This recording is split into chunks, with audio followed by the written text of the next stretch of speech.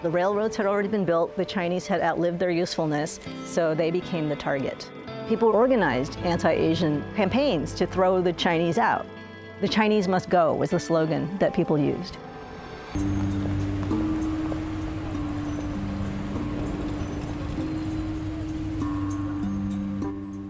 Chinese laborers were among the first Asians to come to the US in the mid 19th century.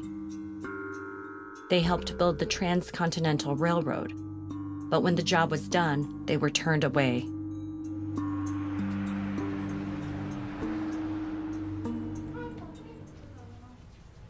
There was a lot of stereotype images of the Chinese coolie coming over, undercutting the wages, causing unemployment of white workers.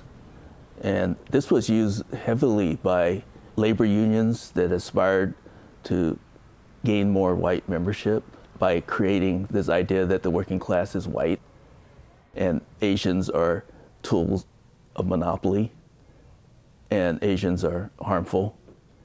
And it was also used by politicians who wanted to get into office